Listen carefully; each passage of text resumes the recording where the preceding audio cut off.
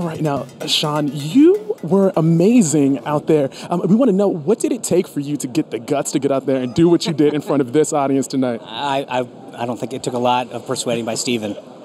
Gotcha. So, can you talk to us a little bit about what Hollywood means to you? Are you a big fan of television? Um, I appreciate. I think there's a lot of talent out here. Uh, I like to focus on, on people's abilities, uh, what they've what they're able to do either musically or artistically. Uh, and there's there's a lot of folks that uh, obviously politically we're not probably aligned on very many things, but I think there's a lot of talent. Uh, I love watching a good film. Now, if you were to cast yourself in any of the shows that are nominated tonight, where are you going? Are you going in Stranger Things? Are you in Westworld? I, I got to be honest with you. I've spent enough uh, the last several months. I, would be lucky if I've seen you know 10 hours of television. I look forward to actually catching up on a lot of these things. Excellent. Any chance that we might see you do a little bit of something on SNL? That that's that's up to them to decide. Uh, it was an honor to get to come out here and be part of tonight. All right. Final question for you. Um, what do you think that the responsibility of art is, just in everyday society and everyday culture? What should art, what should film, television, what should be doing for its audiences?